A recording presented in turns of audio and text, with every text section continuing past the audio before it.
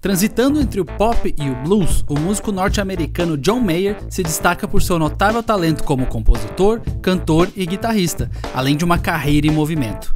Com mais de 20 anos de atividade, o artista segue se reinventando e alimentando uma discografia marcada por diferentes e ótimas fases.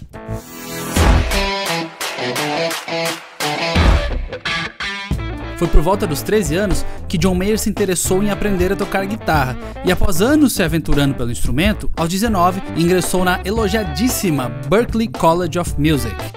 Não durou muito, o músico debandou assim que percebeu que seu lance era escrever e tocar, e acabou dando certo.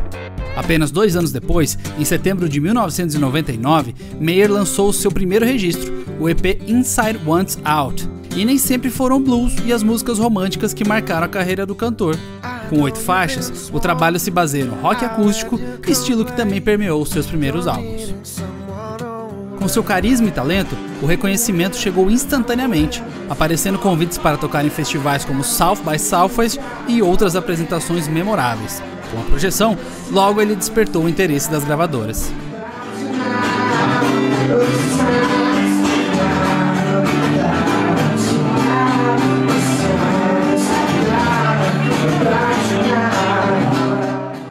For Squares, álbum de estreia de John Mayer, tem uma sonoridade irresistível e está completando 20 anos de lançamento em 2021. O álbum saiu de forma independente em 2001 e foi relançado meses depois após o músico assinar com a Columbia Records. Trazendo influências groovadas do funk e do jazz em uma mistura quente com as guitarras da música pop e, claro, uma boa parcela acústica, o disco aborda temas pessoais como sua crise dos 20 e poucos anos, inquietações internas e relacionamentos. Logo em seu primeiro álbum, Meyer já levou para casa o Grammy de melhor performance vocal pop masculina com o single Your Body is a Wonderland.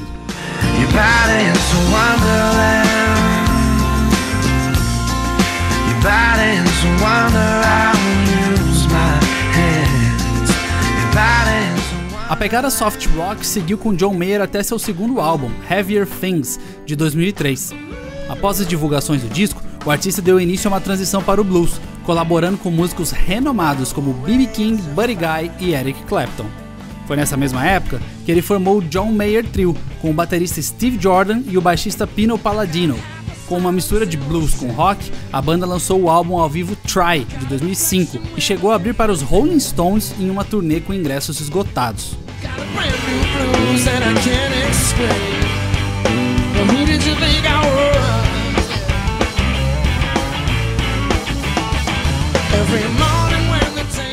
A sensação, o som, o groove, a sensibilidade do blues ganharam toda a cena no álbum Continuum de 2006.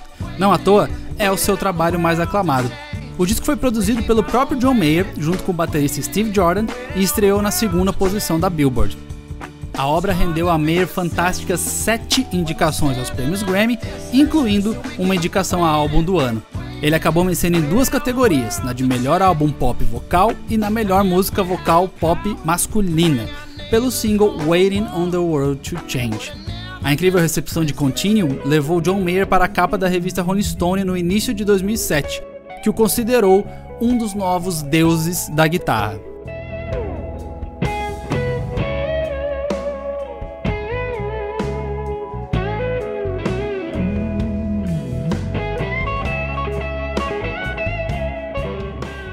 Sem a necessidade de abraçar um rótulo e seguir uma discografia linear, Mayer ainda passeou pelo folk, pelo country e nos apresentou todos esses elementos nos álbuns Born and Raised, de 2012, e Paradise Valley, de 2013.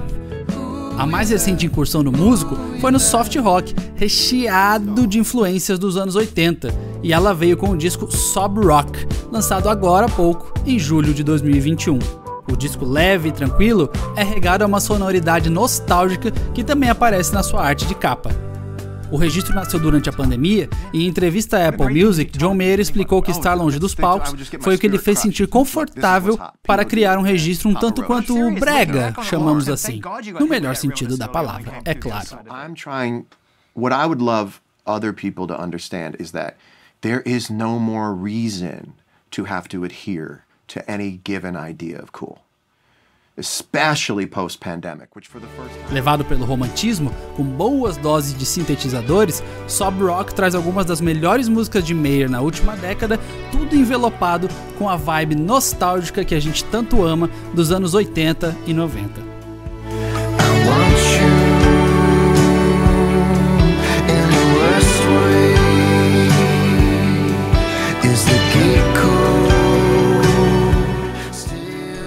Mayer conta com um catálogo vasto, são oito álbuns de estúdio, sete álbuns ao vivo, além de coletâneas, EPs e um montão de material que você pode curtir em todas as plataformas digitais para embarcar em uma viagem pelas fases distintas do artista. Agora, se você está precisando de uma injeção de ânimo, a Filter Brasil preparou a playlist Bom Dia, Músicas Tranquilas, Hits Felizes, que promove o encontro de sucessos de John Mayer com outras ótimas canções de artistas do mundo inteiro. Escolha sua plataforma preferida no link da descrição e aproveite!